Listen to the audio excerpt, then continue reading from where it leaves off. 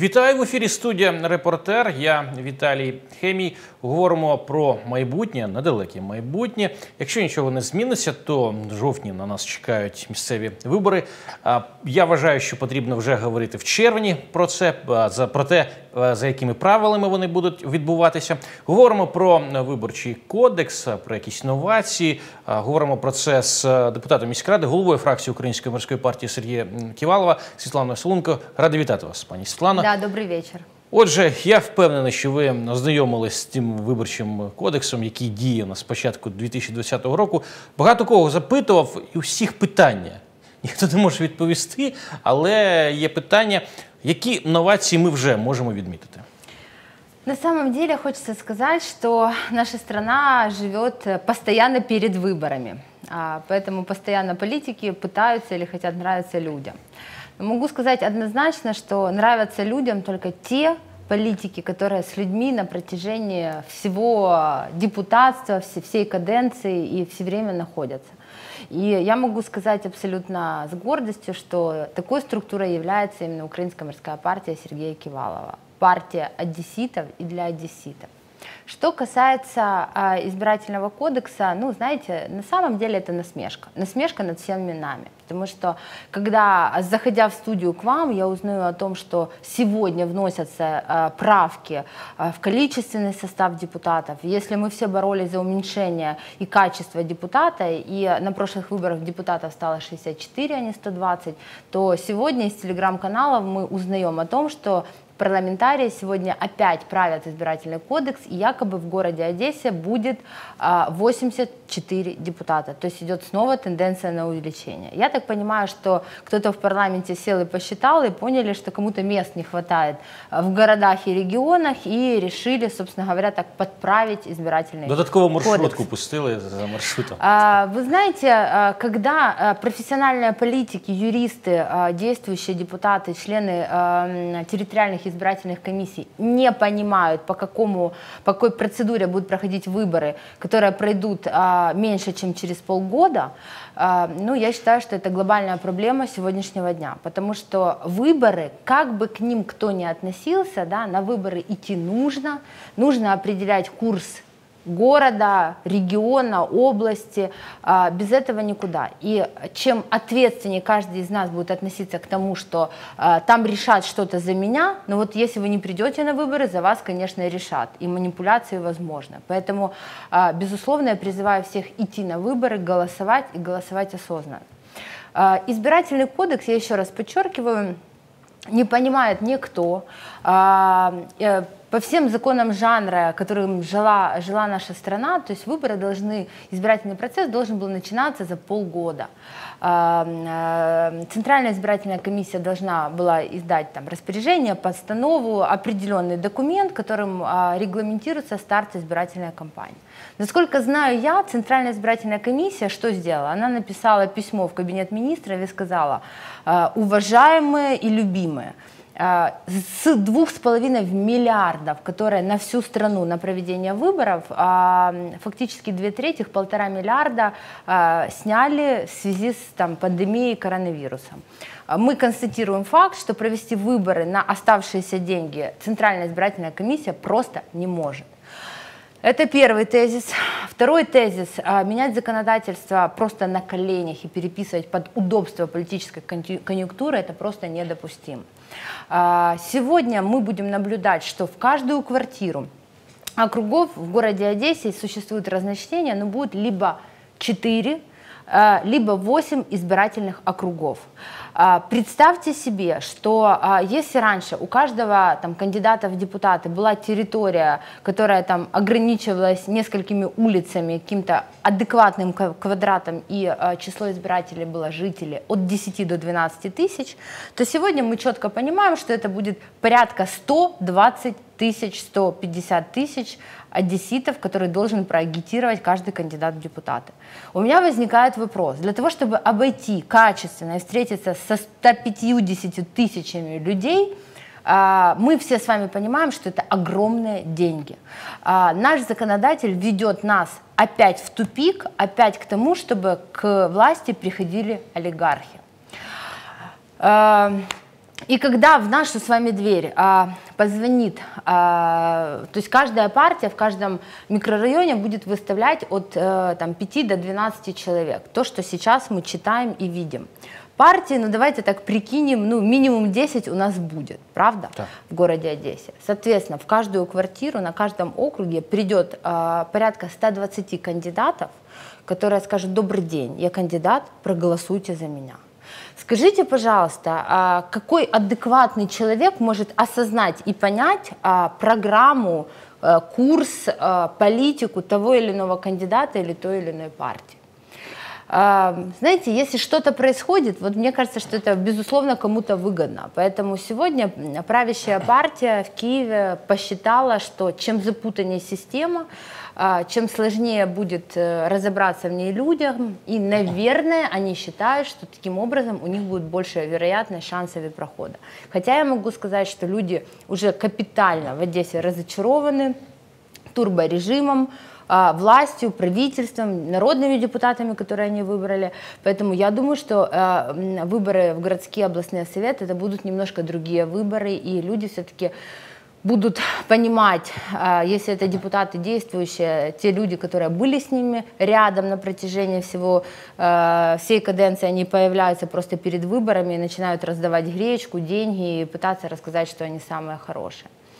А, поэтому а, что нас ждет еще впереди, я, я прогнозирую, что у нас еще будут правки законодательства, и я как юрист подчеркиваю, что это недопустимо, потому что а, когда профильные организации, я, я э, вот хочу поблагодарить Комитет избирателей Украины, тоже пытался, говорю, Толик, э, Анатолий Бойко, говорю, объясни мне, ну вот действительно все сегодня политические партии недопонимают, как э, будет проходить. Я вам скажу больше – несмотря на запутанность всей системы, ее полуневозможности реализации в жизнь, в законе еще существуют коллизии и э, ошибки, когда будет отдана а, роль толковать Центральной избирательной комиссии, которую также сформировала, если вы помните, правящая партия, выгоняв всю оппозицию, всех, кто может э, каким-то образом влиять на мнение. И Центральная избирательная комиссия в последние дни будет толковать те или иные нормы закона.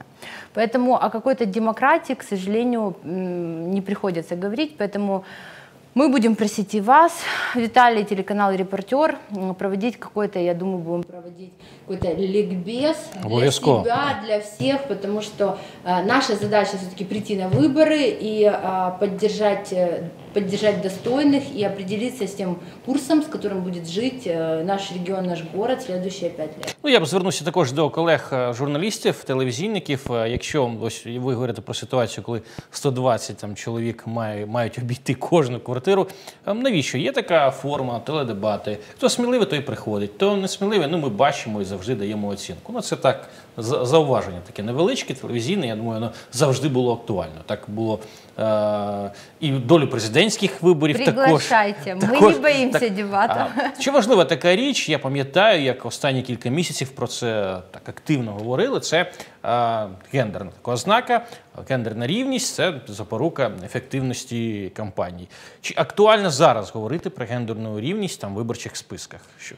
Я можу сказати тільки одно, що избирательный кодекс, вот вот как э, по мне, да, как по мне, у него есть один маленький плюс, э, и это увеличение гендерной квоты. Э, я еще раз говорю, гендерная квота это не женская квота. Э, гендер это равноправие мужчин и женщин. Но я хочу подчеркнуть, что если мы уже говорим о квоте, само слово квота подразумевает э, неравенство. И квотирование – это уже неравенство. Безусловно, я как э, представитель э, Киев Global Summit, э, площадки, которая выступала за равенство мужчин и женщин, за продвижение женщин в политику, безусловно, мы отставили позицию, что равенство – это все-таки 50 на 50, но не 20 на 30 и каким-то другим образом. Э, я так понимаю, что мировая тенденция э, продвижения женщин в политику достаточно модная сегодня, и наш законодатель пошел на пути э, моды, и все-таки есть квота, она 30, 30%. 20 на 30. Соответственно, у нас 30% женщин или мужчин, то есть лиц одного пола должны быть представлены в каждой, я подчеркиваю, в каждой пятерке. Для, так, для того, чтобы было понятно, если мы рассматриваем первую пятерку любой политической силы, там должно быть три мужчины, две женщины. 40% це вже. Либо, Це вже 40%. э, так. либо, либо э, Два человека, три женщин- жінки. Да, т- три женщины. 3 плюс 2, як в радянському фільмі. А, Я обяз- да, 3, Всегда. плюс 2, да. На самом деле я всегда была сторонник продвижения женщин в политику, потому что э, мы видим, что страны, которых э, руководят женщины, э, мы так, в общем, не, не решились выбрать женщину президентом, но э, страны, у которых, э, которыми руководит женщины, это страны с высочайшим уровнем социального и экономического развития.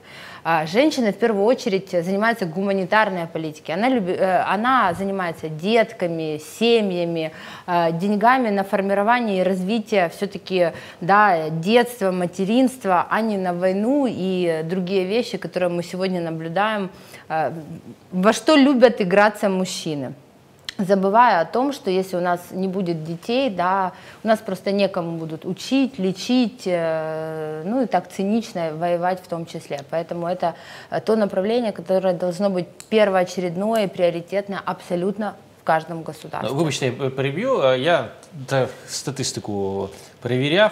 Два з останніх чотирьох міністра оборони Італії жінки. Це так. Так. Ну, це ми говоримо про те, що жінки дійсно е, обирають посади, їх обирають на посади такі важливі для країни. Я е, виступаю проти штучної, штучного підтягування жінок до політики. І це важливе питання. За останні кілька років, чи є покоління жінок, які можуть керувати процесами в місті, в регіоні, в країні? Я могу сказать, что действительно за последние годы, благодаря женщинам, которые в политике, которые понимают, что в политике женщин должно быть больше, благодаря общественным организациям, которые и гранты получают, разъяснительную работу ведут, на самом деле э, женщины, можно сказать так, уже э, почувствовали больше в себе силы и уверенности. Женщины понимают, да, понимают, что если они могут навести порядок дома, они в состоянии, я вам скажу точно, навести порядок и в стране, и в городе, а, и в правительстве в том числе. Поэтому сегодня женщины более активны и более готовы а, занимать ответственные должности, руководящие должности для того, чтобы все-таки продвигать эту гуманитарную социальную миссию а, в целом стране. Поэтому я хочу, пользуясь нашим эфиром, пригласить всех женщин, которые уже понимают, что они уже готовы, а, всех женщин, которые видят себя в политике, и я хочу сказать, что это не просто слова, это на э, неоднократных заседаниях лидер нашей партии Сергей Кивалов, наша фракция, а, мы приглашаем а, в Одесский городской совет идти вместе с Украинской морской партией Сергея Кивалова а, всех женщин, которые хотят и могут, которые сегодня готовы. А, Я думаю, что мы, может быть, ну, будем смотреть, как бы сделаем какой-то, не знаю, конкурс, не конкурс, но сегодня я говорю абсолютно ответственно, что а, все женщины, которые готовы а, и видят себя в политике, у них есть реальная возможность пойти кандидатами в депутаты от нашей политической силы.